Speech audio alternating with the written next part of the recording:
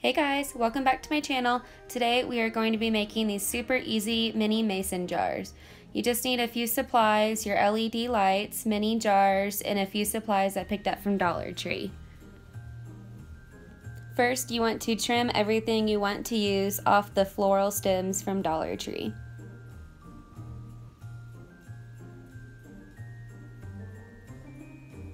Now I'm just prepping everything, making sure it is ready to go as soon as I'm ready to drop them down into the jars. So I'm going to hot glue these together just to make sure that they stay in place once in there.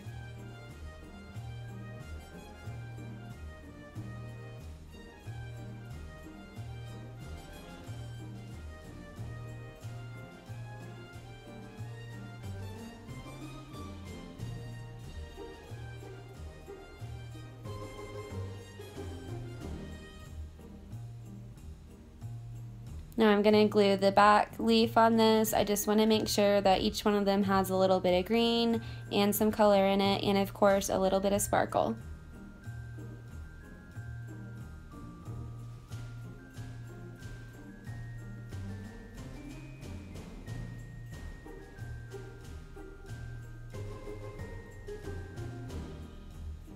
Now I'm going to take my string LED lights. These have copper wiring so they're going to stay in place whichever way I move them around.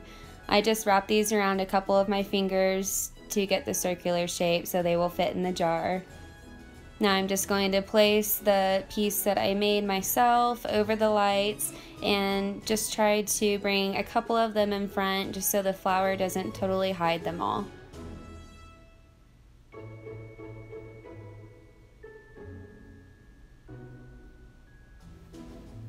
So for this one, I'm going to add in some of the fake snow from Dollar Tree. You can find this in the craft section or by the Christmas supplies.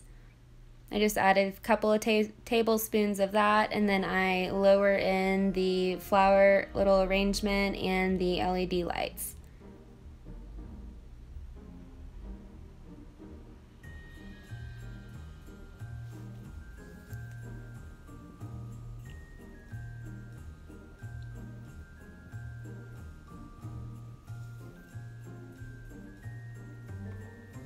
Now as you can see the one flower petal has kind of covered up the front of itself so I am just going to use my tweezers to flip that right back around.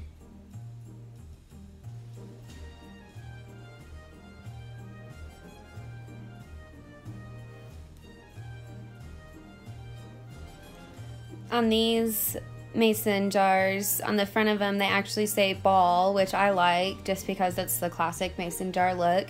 So I'm making that the front of these. The back of them actually does have a clear space, so if you are wanting to personalize these with your Cricut, you can get pretty creative with these and do so.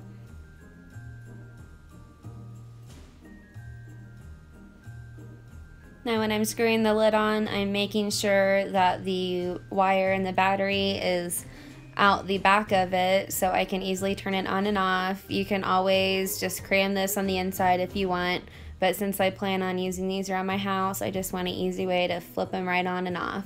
Some of these even do come with a remote so you can turn them all on at once or all off at once. But these are just the cheap ones that I got. I really do love the look of them and I really don't mind just going around to flip the four on and off when needed.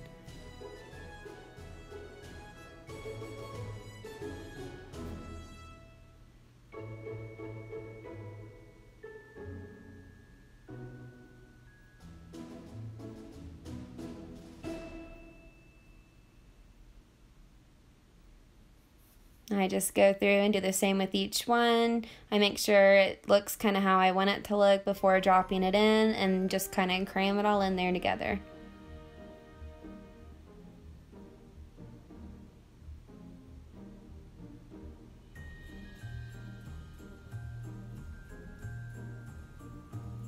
Now this one I went in to add the fake snow in after just so I could see how it looked and I loved how it turned out.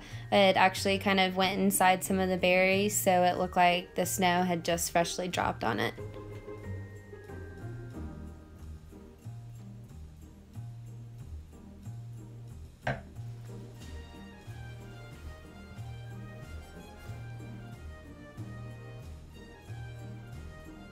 And there we have it. All that's left is to screw the lid back on. If you want to glue the battery pack on the back of these, you can do so, but mine hang down perfectly. You can't see them from the side, so I'm going to leave them as is. Thank you all for watching this super short tutorial. Check out my other videos for more farmhouse style decor. See you soon!